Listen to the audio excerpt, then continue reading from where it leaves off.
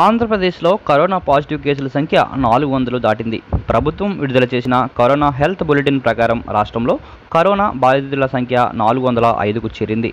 మరి శనివారం ఒక్కరోజే కొత్తగా ఇరవై నాలుగు మందికి కరోనా సోకింది. గుంటూరు జిల్లాలో పదిహేడు కర్నూలు జిల్లాలో ఐదు కడప ప్రకాశం జిల్లాల్లో ఒక్కొక్కరు చొప్పున కరోనా పాజిటివ్ కేసులు నిర్ధారణ అయ్యాయి. మరి నాలుగు వందల ఐదు కేసుల్లో పదకొండు మంది డిశ్చార్జ్ అయ్యారు.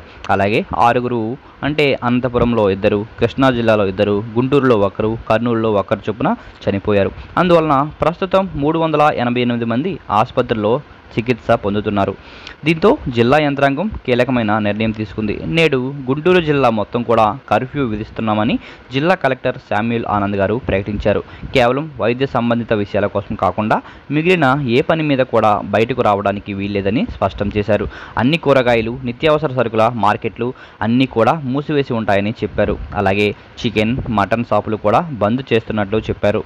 అలాగే నేటి నుంచి రోజు విడిచి రోజు చొప్పున నిత్యావసరాల కోసం బయటకు పంపే అవకాశాలని పరిశీలిస్తున్నామని చెప్పారు. అంటే ఈరోజు మరి గుంటూరులో పూర్తిగా లాక్డౌన్ కర్ఫ్యూను విధిస్తున్నారు.